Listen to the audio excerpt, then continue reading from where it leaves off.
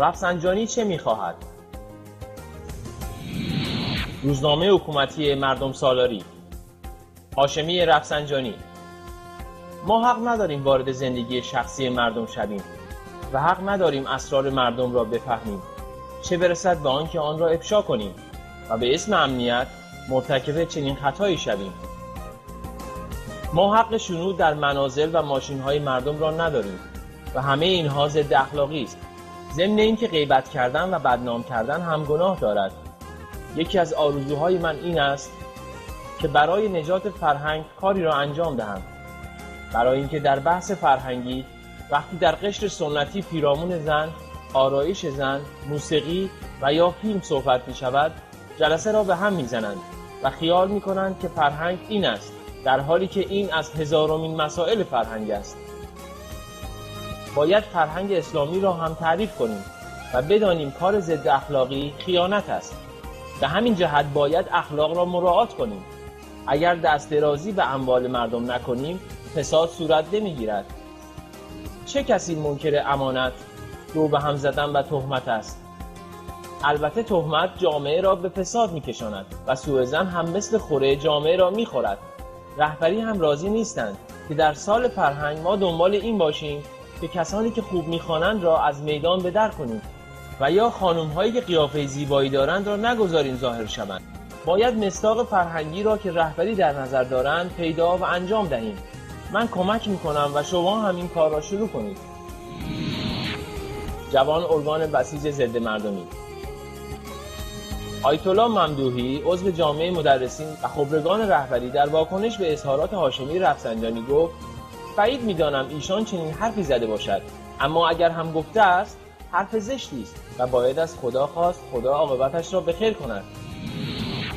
کیهان خامنه ای اظهارات آقای هاشمی فاقد دقت و استدلال فقهی و شرعی است. این تعبیر که کسانی که خوب می‌خوانند در ضوابط دینی و فقهی چه مفهومی دارد؟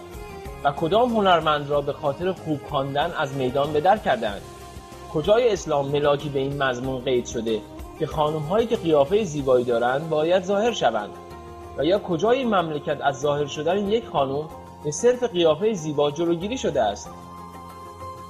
اما اگر منظور خودآرایی و خودنمایی است که منطق قرآن در این باره روشن است مگر اینکه بخواهیم اجتهاد مقابل نس کنیم؟ بالاخره باید گفت بخشی از شکل فرهنگ کشور ما کاربست این قبیل ادبیات و ترویج آشفتگی فرهنگی است.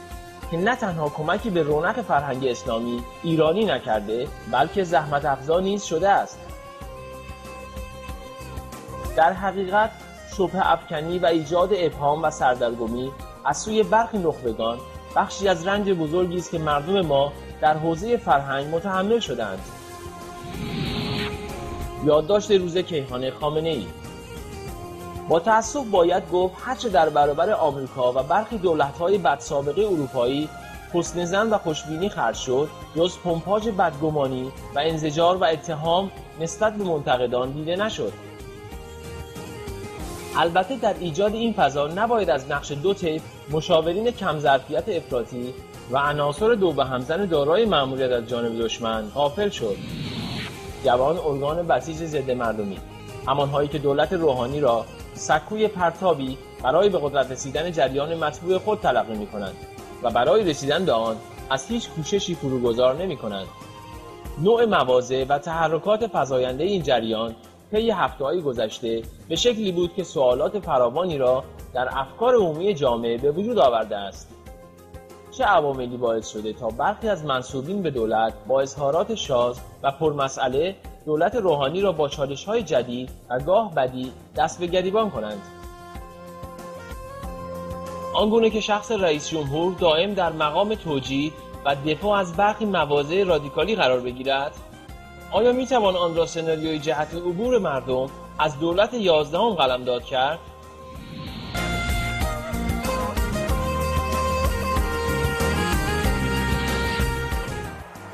رفسنجانی یک بار دیگه طی اظهاراتی که در دستگاه رایج آخوندی کفریات محسوب میشه در رژیم جنجال به پا کرد و آخوندهای حکومتی و رسانه هاشون رو به واکنش و جست و خیز واداشت.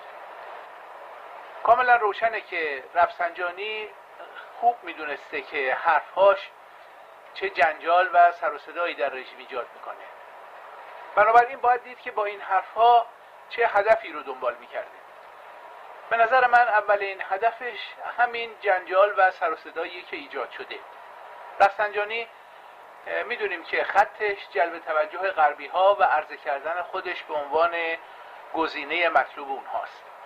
و امیدواره که به این ترتیب توجه اونها رو به خودش و به روحانی به عنوان تافته جدا بافته از این رژیم قرون وسطایی جلب بکنه. رفسنجانی همچنین با این حرف می‌خواد جست آزادی خواهی و دفاع از حقوق بشر بگیره. البته با کمترین خرج و با کم خطرترین راه. بنابراین چیزهایی مثل خوانندگی و گویندگی زنان آرایش زنان و موسیقی و این قبیل چیزها رو پیش می‌کشه و بعد با مردرندی خاص خودش گناه بند کردن به این چیزها و عمده کردن اونها رو هم به گردن رقیب میندازه و میگه خیال می‌کنن که فرهنگ این است در حالی که اینها از هزارمین مسائل فرهنگ است. ولی خب البته خودش از اون 999 تا مسئله دیگه هیچ حرفی نمی‌زنه. نه از سرکوب زنان نه از بیکاری زنان نه از اعمال تبعیض در تحصیل و اشتغال که خامنه ای چند روز پیش بر اونها صحه گذاشت و از آزادی تشکل، آزادی بیان و هیچ کدوم از آزادی های دموکراتیک. در واقع رفسنجانی می‌دونه که بعد از جام زهر هسته ای جام زهر حقوق بشر در راهه و این به پای رژیم در هر حال نوشته شده. جایگزین کردن آمدانه مسائل جزئی و فرعی و فردی به جای آزادی های سیاسی و اجتماعی شگرد رفسنجانیه و به این ترتیب می‌خواد به خیال خودش از این گردنه عبور بکنه و این زهر رو به حلقوم ولی فقیه بده و قیمت رو از او بگیره.